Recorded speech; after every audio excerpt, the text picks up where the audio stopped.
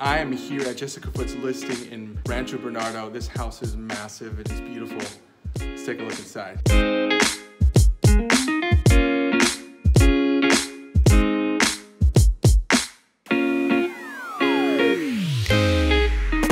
First thing you see when you walk into this home is the massive foyer. These doors are like 12 feet. The front yard is amazing in terms of architecture, landscaping. They used the boulders that were here when they built the home.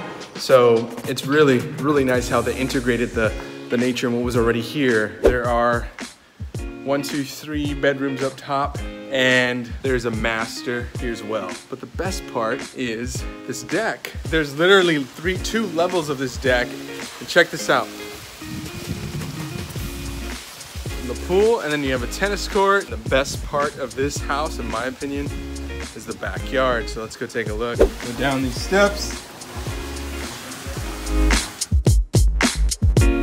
This backyard is massive. We didn't have photos to base our shot list by, but we checked out aerial. Hey, hey Josh. Hi, Josh is already out here working. Check out this backyard. It's got a cabana, huge green area. Of course, the tennis court, backyard pool.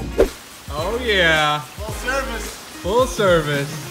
My favorite part right here, the water. Look at that. Look at that. Look at that. This outdoor space is literally my favorite. Covered loggia, covered deck. Another favorite part of this house is this kitchen, great room. Check this out here. Beautiful space, large, opens up out to the covered patios there.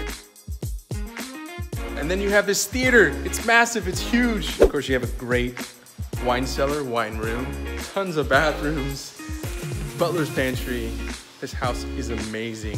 These indoor spaces really just flow right outside. Real intimate, yet spread out. This kitchen, living room, whole setup here is really, really intimate. Feels new, feels like a model home. Thanks for listening. Thanks for tuning in. If you have not seen the full length video, please be sure to check it out. Check us out on our social media outlets. And until next time, have a great day.